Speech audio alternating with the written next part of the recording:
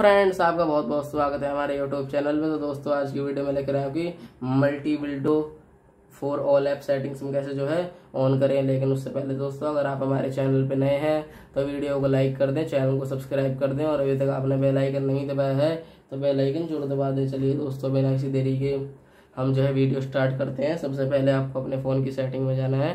Setting में जाने के बाद दोस्तों, आपको ऊपर करना है, देखने को मिलेगा।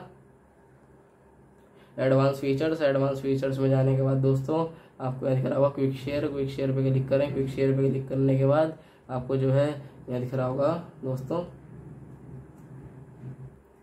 लैब्स लैब्स पे क्लिक करें। लैब्स पे क्लिक करने के बाद दिख रहा होगा multi window for all app settings हमारी जो है ऑफ़ है। लेकिन हमें इसे ऑन करना है तो ऑन कर लेते हैं। जैसे कि देख सकते हैं दोस्तों multi window for all app settings हमारी ऑन हो गई है।